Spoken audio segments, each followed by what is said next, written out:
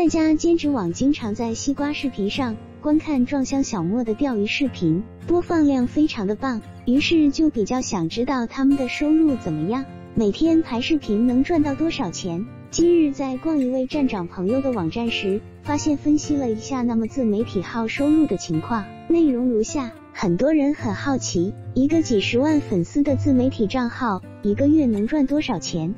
或者说，一个播放量能稳定在几万甚至几十万播放量的视频作者，一个月收益能达到多少？自媒体变现的方式很多，每个人每个账号收益来源都不同。以三农领域的自媒体为例。比如说，有些账号主要依靠视频流量分成赚钱，而有的作者还有直播打赏收益，甚至有的作者直播带货也有不错的收益。直播打赏和带货收益因人而异，没有办法系统评估。这里抛开不谈，咱们粗略计算一个单靠视频流量一个月可以赚多少钱。以三农作者撞香小莫为例，小莫的粉丝为八十八万，视频播放量低的也有三十多万。高的有七八十万，取中位数四十万每条，单月播放量为一千二百万。如果按照三十至一百元每万次播放来估算，同样取保守中位数五十元每万次播放，每月收益为五零 x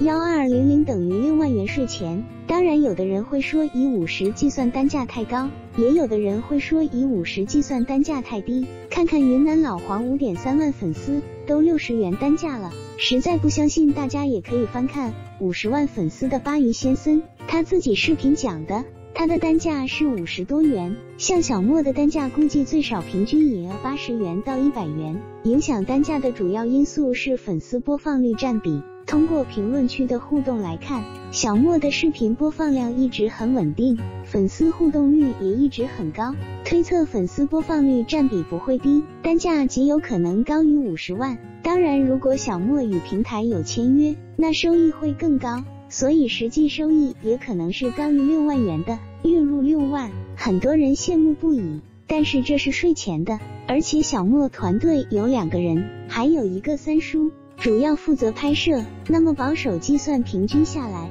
每人自媒体月收入可以达到两万加，这在广西农村的确也算是非常不错的收入了。自媒体这个行业门槛很低，但是要赚到钱并不是太容易。虽然网上的自媒体创富案例很多，但是失败的例子更多的。我最早关注的三农自媒体人，是我湖南的一个老乡欢子 TV。早在三年前，他的粉丝就上百万了，但是现在他几乎是销声匿迹了。